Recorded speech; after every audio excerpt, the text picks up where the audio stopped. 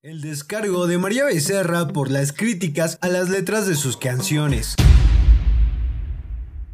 La cantante argentina brindó una entrevista para la famosa revista de Glamour España. Durante la charla se tocaron algunos temas relevantes, como por ejemplo las críticas que recibe en redes sociales. El otro día me criticaron por las letras de mis canciones. Me dijeron que era muy grosera y que debía tener más cuidado porque las escuchaban niños de 5 años. No veo que les hagan esos comentarios a los hombres artistas. Expresó María Becerra mientras se hablaba sobre los comentarios que surgen día a día en las redes sociales y luego, sin pelos en la lengua, aseguró estar orgullosa de sus temas. Soy una mujer, me gusta tener relaciones sexuales, me gusta el deseo y me gusta el placer.